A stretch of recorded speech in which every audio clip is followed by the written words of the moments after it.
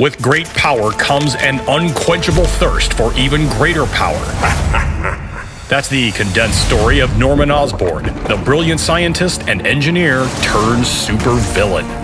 Norman Osborn's path through life is defined by the combination of his gifted intellect, unrelenting focus, and obsessive pursuit of power and wealth.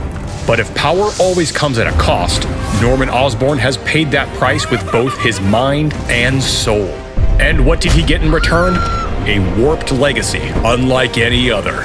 Because if you had to name Spider Man's greatest villain, you'd call him the Green Goblin.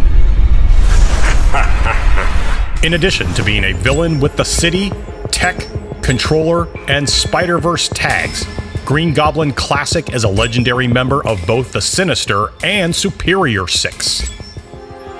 That legendary tag means you'll recruit Gobby by participating in his Trials, a special event where you'll have unlimited attempts to complete 10 nodes and establish the highest score possible.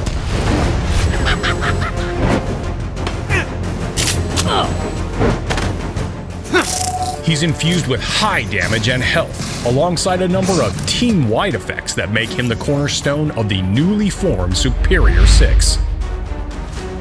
His passive, True Osborn, grants him and his Sinister Six allies additional health and immunity to ability block and vulnerable, but that's just the tip of the glider.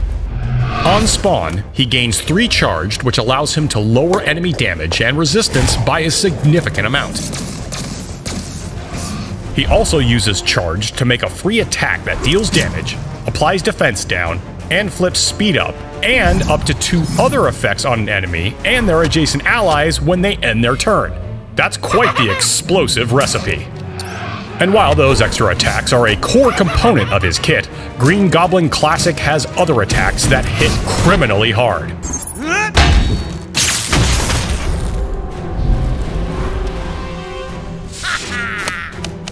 His special attack clears barrier before hitting the target, reducing their speed bar, flipping all of their positive effects to negative ones, and inflicting them with both trauma and heal block. All for only 2 energy. You can't beat that deal. His ultimate, Goblin Bombardment, attacks the entire enemy team before playing havoc with their buffs and speed bars. If they don't have a positive effect to flip, they are inflicted with trauma instead. And if all this weren't overkill enough, Green Goblin Classic is especially dangerous in Cosmic Crucible.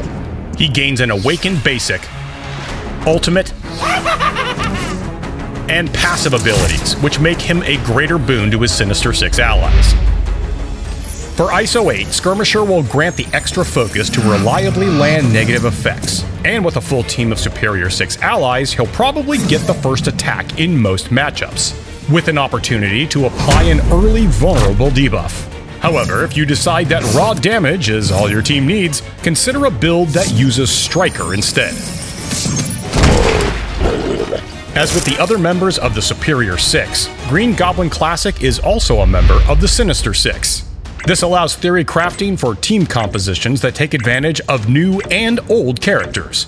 Are you ready to make an Oz some addition to your roster? Maybe you have some thoughts on what we pull next from our bag of tricks. Either way, let us know in the comments and subscribe for future updates.